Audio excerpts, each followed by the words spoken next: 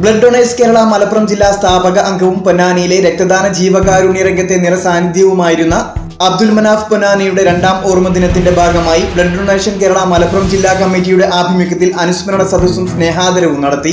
Edappal Emirates മാളിൽ വെച്ച് നടന്ന അനുസ്മരണ സദസ്സിൽ ഇരുപത്തിയഞ്ച് പുരുഷ വനിതാ സ്ഥിരം സന്നദ്ധ രക്തദാതാക്കൾക്ക് അബ്ദുൽ മനാഫ് അനുസ്മരണ സ്നേഹാദരവും ജില്ലയിലെ അഞ്ച് താലൂക്കുകളിലെ മികച്ച കോർഡിനേറ്റർമാർക്കുള്ള ബി ഡി കെ മലപ്പുറം ജില്ലാ കമ്മിറ്റി ഏർപ്പെടുത്തിയ അബ്ദുൽ മനാഫ് മെമ്മോറിയൽ പുരസ്കാര സമർപ്പണവും നടന്നു.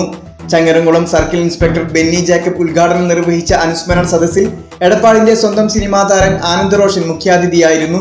ബി ഡി കെ മലപ്പുറം ജില്ലാ വൈസ് പ്രസിഡന്റ് നൌഷാദ് ആയങ്കലം അധ്യക്ഷത വഹിച്ച പരിപാടിയിൽ B D K Ponnani taluk president Sivaprasad സ്വാഗതവും സെക്രട്ടറി അലി ചേക്കോട് നന്ദിയും പറഞ്ഞു. ചടങ്ങിൽ ബി ഡി കെ പൊന്നാനി മുൻ coordinator Sreejith Edappal memorial best coordinator award taluk president Sivaprasad Anand റോഷനും കൈമാറി.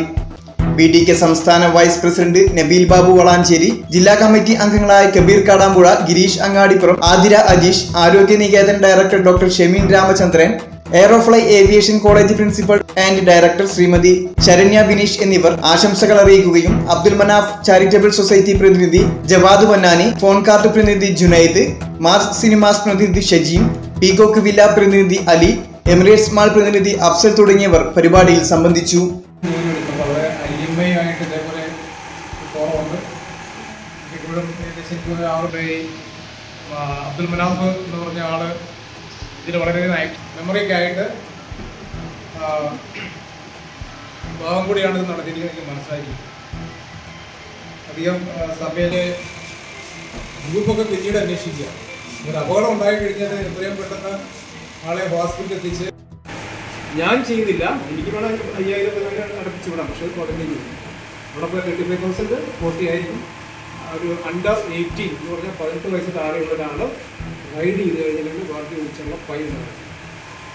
അത് അവർക്കല്ല ആരാണ് ആർ സി ഉള്ളത് ഇന്നലെ എനിക്ക് ഇന്നലെ ഒരു കുട്ടി വീണ്ടും കിട്ടി.